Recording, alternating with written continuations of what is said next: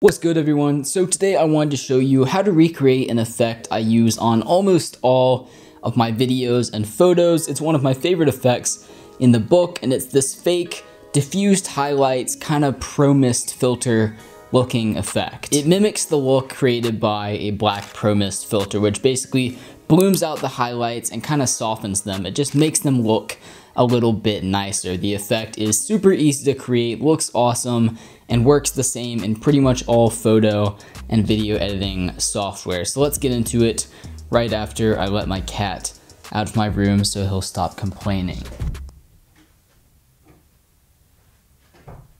So the first thing you need to do is duplicate the clip that you want to add this effect to and drag that duplicate to the layer above itself so you have that clip stacked up two times on the timeline. Then just turn that bottom layer off so you can't see it. Next, I'm gonna use a Luma key to isolate the brightest parts of that top layer. So basically, I'm just gonna adjust the threshold so that we isolate the blown out white highlights in the image. To finish the effect off, just re-enable that bottom layer's visibility and drag a Gaussian blur effect onto the top layer with those highlights on it. Then just increase the blur amount to soften them out. So basically what we're doing here is separating the highlights onto their own layer above our original track and blurring them out. Simple as that. If you go into the Luma Fade and adjust the options for the edge feather and the tolerance, you can kind of soften the effect and make it bleed out into the rest of the image. And if you still find it overall to be a bit too strong, you can just lower the opacity of that top layer. So that's the process you can use to easily create this effect in video editing software, and it's actually very similar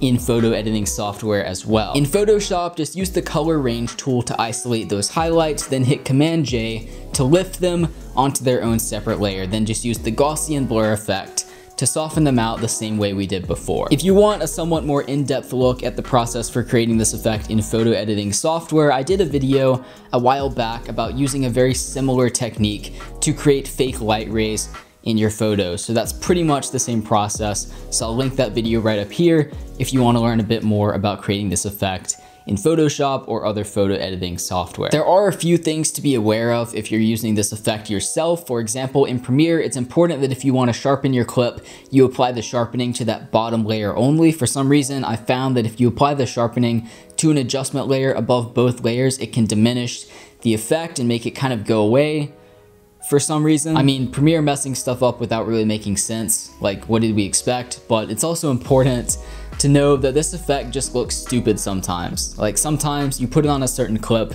and it just looks weird.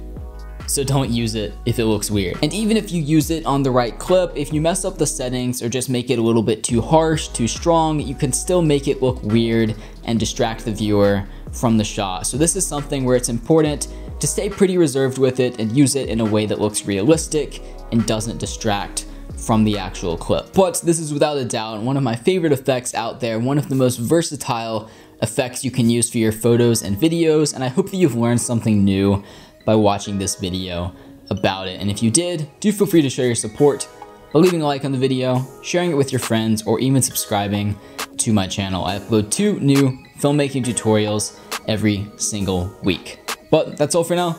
Keep creating, and I'll see you in the next one.